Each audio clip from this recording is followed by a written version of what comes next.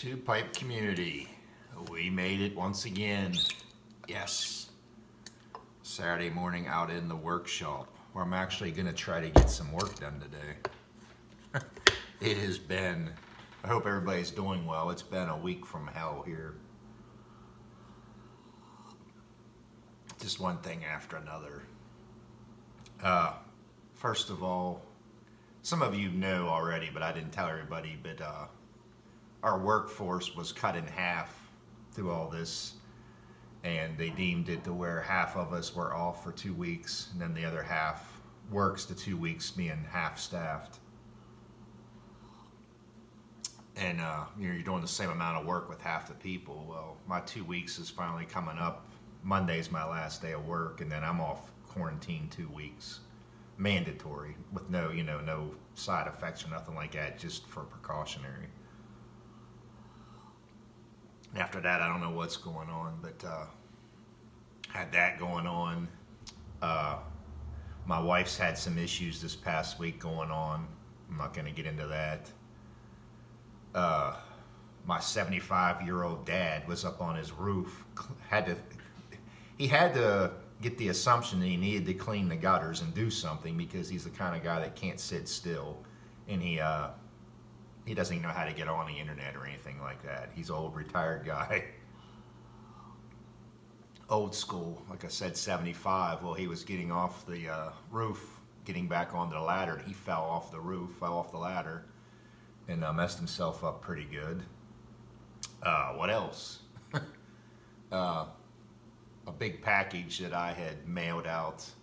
This was dating back before the shit even hit the fan. This was back on like March 11th I sent out a package of five eight ounce bags of Penzance and five eight ounce bags of Stonehaven. Aged, a lot of them are really good aged, like the white cream colored bags, to a gentleman out in California. And it's gone. it's lost.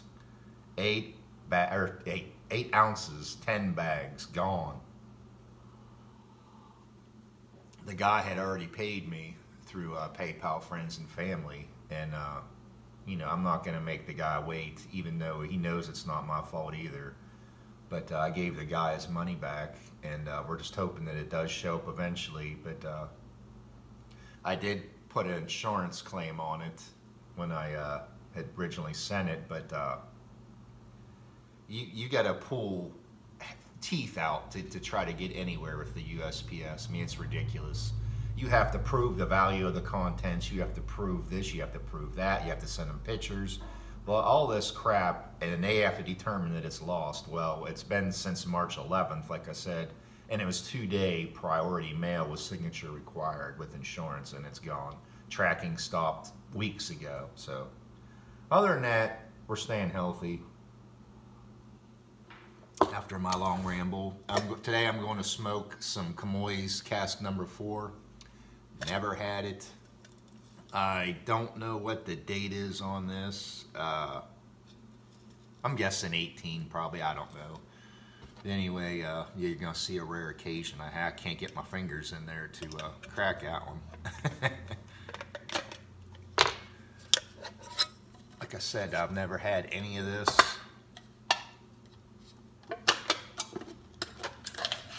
I like, I do like the can.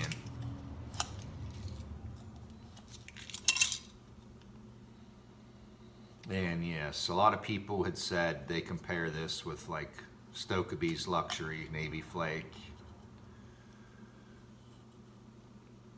Uh, it's fairly dark in this. Uh, the flakes are definitely ready to be smoked now. They're fairly dry really not picking up much of nothing. I'm picking up maybe a little bit of bready notes, uh, mild little bit of sweetness. Wow, that's really about it. So if you haven't seen the presentation, look at it! Look. But uh, get my pipe lit and I'll be back. And we're back. I was gonna go outside, but the sun's already blazing and it'll be right in the camera, shining in the camera.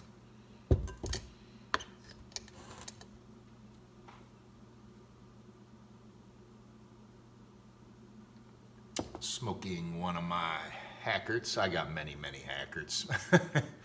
this one is from 2011 also.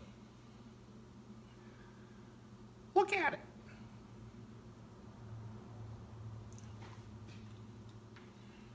I had a guy last week, I can't remember if it was on YouTube or Instagram, he asked me how many Hackerts I had in my collection. And at one time, I had 23, 24 Hackerts. I'm not counting Cobbs, I'm talking Briars.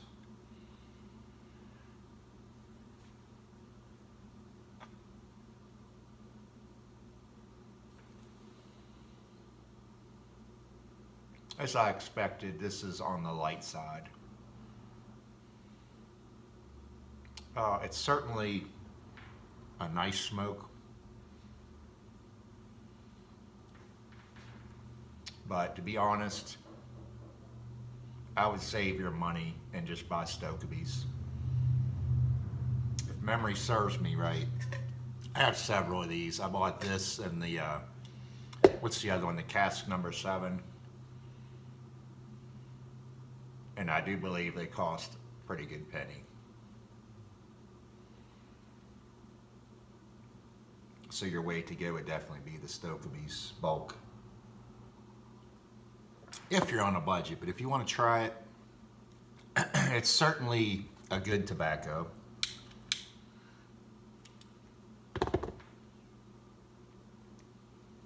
You got that sweetness going on, you got the spice.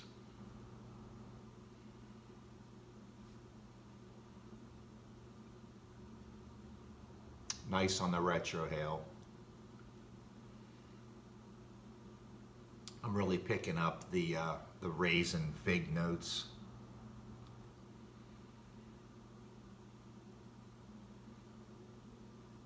The spice I'm picking up more of like a white pepper. Very nice though. Like I said, I can't remember the price, but uh, I'm, I'm almost positive that the Stokkebye's would be a lot cheaper.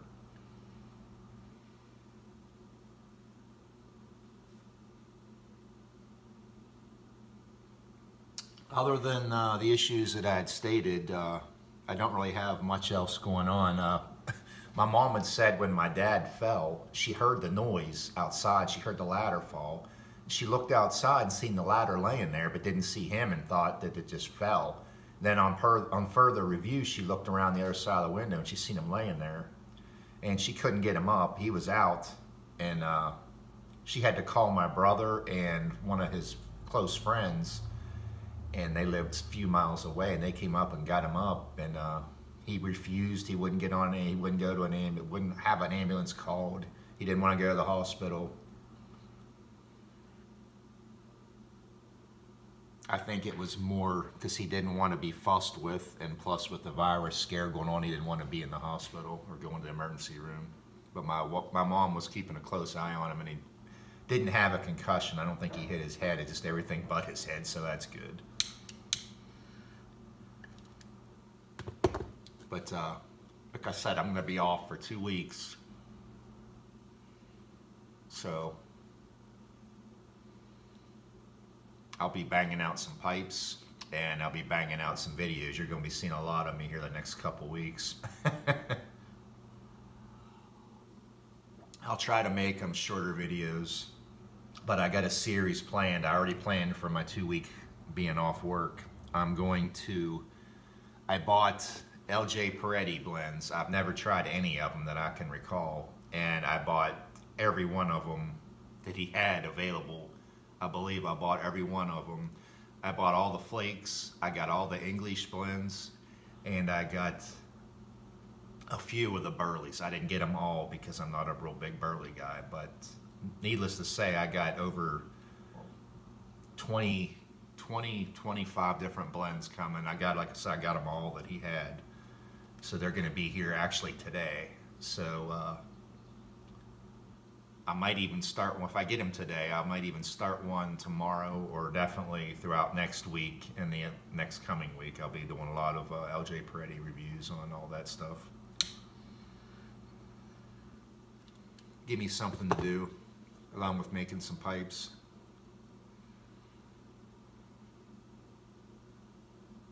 It's supposed to be a nice day here today. Had some crazy weather last weekend.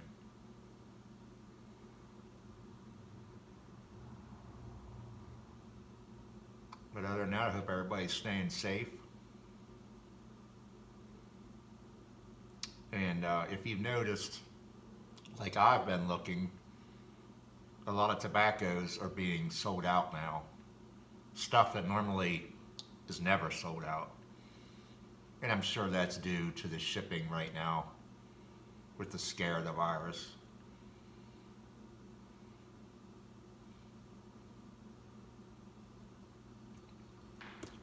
it's funny, just a couple weeks ago, if you watch me and watch my videos there, I was talking about mixing some, uh, that 18 year old Perique with some uh, small batch Carolina Red Flake that I had. And I also did it with some 40th McClelland Anniversary Flake. And then Cornell and Diehl comes out with that new blend. It's going to hit April 7th if you haven't already heard this is going to be a different red flake. It's not going to be that high sugar content from the other small batch. This is going to be South Carolina red flake with that 18 year old Perique.